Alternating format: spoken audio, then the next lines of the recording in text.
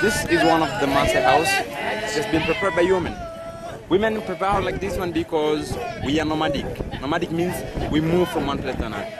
And we move because of sufficient, sufficient reason whereby if there is a shortage of grasses and water, as you know that we are pastoralistic by nature. These are temporary houses and not permanent one because we move.